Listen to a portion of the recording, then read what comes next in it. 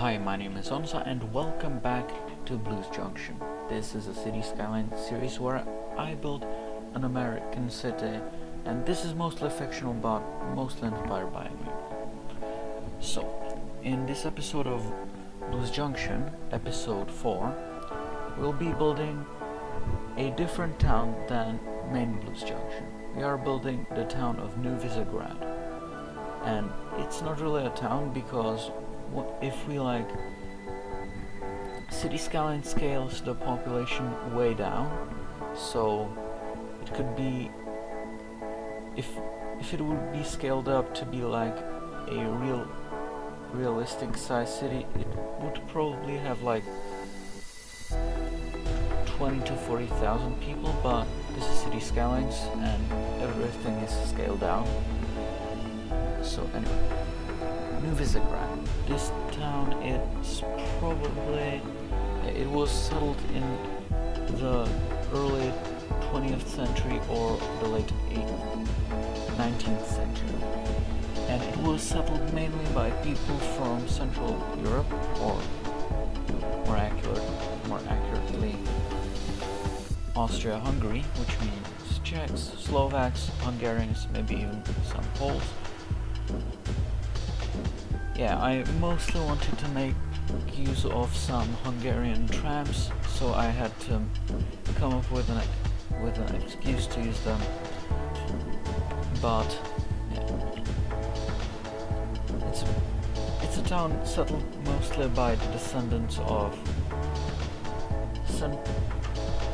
immigrants from Central Europe. So anyway, this town has two tram lines, which is pretty, is a lot, even for like Europe. Europe, a town so small would probably have only one line if it were in Europe, and if it would be scaled up again.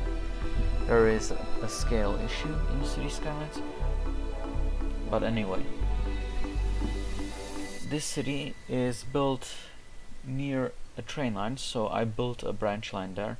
But there is no like way to go in a different way so you can only go in one specific direction which means connecting to this place is kind of a is kind of annoying.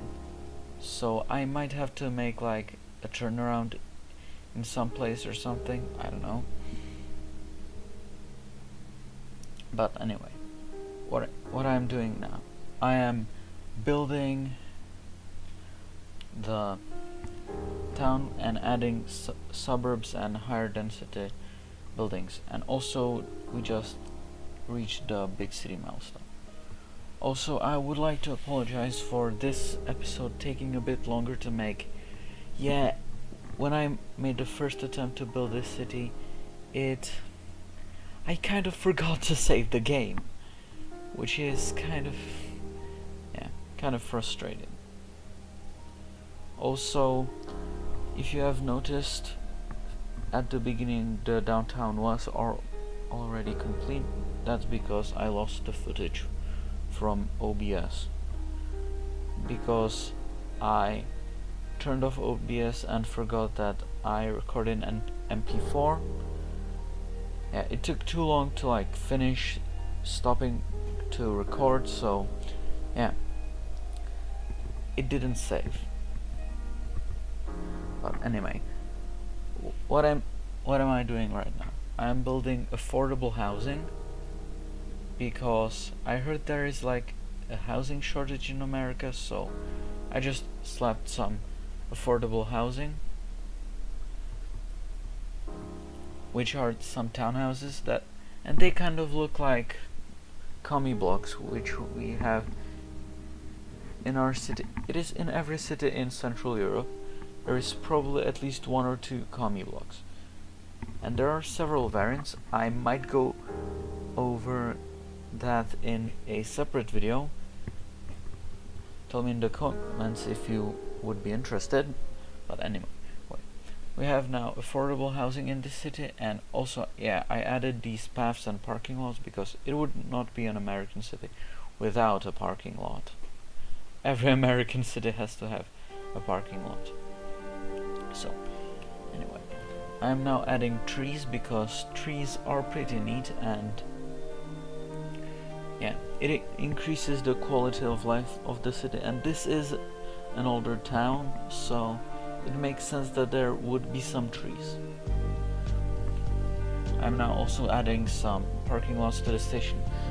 Also, if you may have noticed, I use a lot of different types of rolling stock. That's because there aren't really any different times. There aren't really like high quality, same like company rolling stock, so I don't have like the ALP 46, which is my favorite commuter train for like American cities. There isn't not like a ride Sunset livery, which is my favorite livery again. There isn't like a generic livery version of it. There's just the NJ Transit version. I mean, I can't play MESS HD for that. I should probably one day just bite the bullet and commission a recolor, but I will just continue using different different transport companies because why not? It makes the trains look more interesting. So now I am building a small rail yard and I wanted to have some sort of way to store the trains because this is for now the only town with electric service like electric trains instead of like diesel trains. So I had to have like at least a small yard for the trains to be kept overnight or something. Or when like waiting for next service. Just a way for the trains to be stored. So I placed these ALP 46s and I tried to do some interesting combinations like having two locomotives and one on each side. Also some locomotives just randomly there. Yeah, just random combinations of locomotives and train cars because yeah I want to have it a bit varied and not just like all the same. I don't know how realistic it is, but uh, I don't really care. So now I'm connecting it to the train line, I had some really annoying issues with these catenary poles, which meant like I had to rebuild it because yeah, I used nodeless tracks for the yard and I connected it with connected it with nodeless, which makes it like messy and stuff. Now I'm just putting signals. I don't know how American signaling works, so I'm just putting random signals there.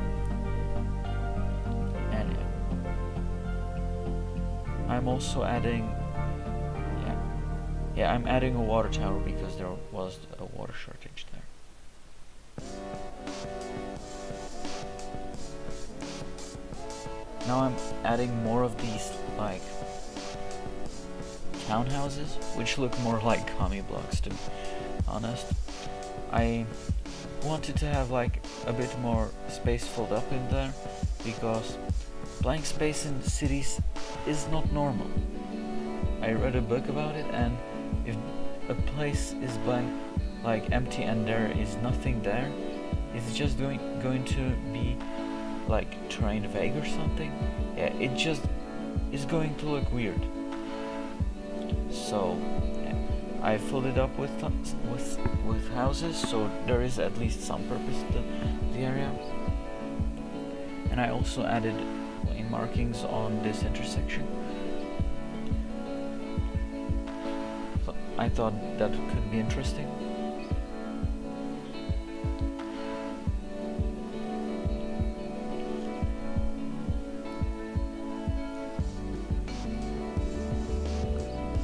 So, if you enjoyed this video, give this video a like, subscribe and stick your thoughts in the comments. I would like to hear your opinion on the video about commie blocks and different types, and maybe even like Rolling Stone or something. So yeah, see you in the, see you in the domain.